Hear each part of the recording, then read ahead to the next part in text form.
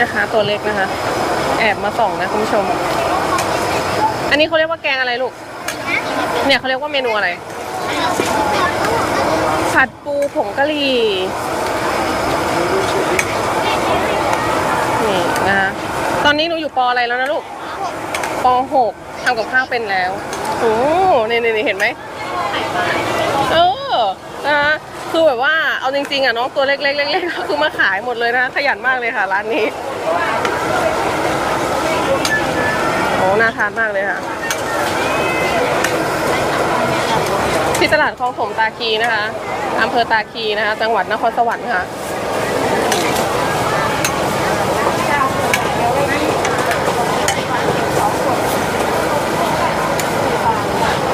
ผัดปูเนี้ยอะไรครับ ผัดปูค่ะ สั่งได้เลยพี่นี่เกิดอะไร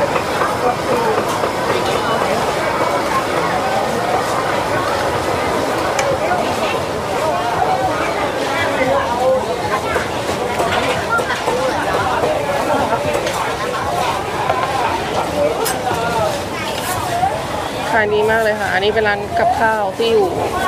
ข้างๆกับร้านขนมนะคะที่ตักขาย 5 บาท จ้า อันนี้ขายถุงเท่าไหร่ลูก 60อืม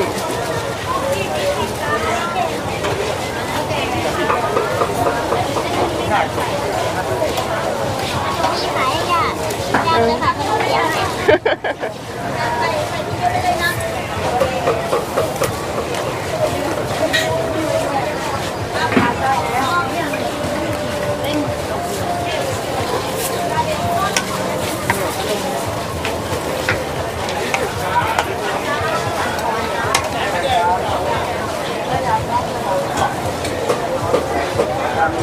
ปูผัดผงกะหรี่นะคะถุงละ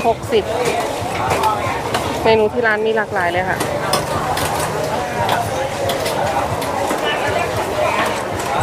นี่ถ่ายรการใช่ค่ะ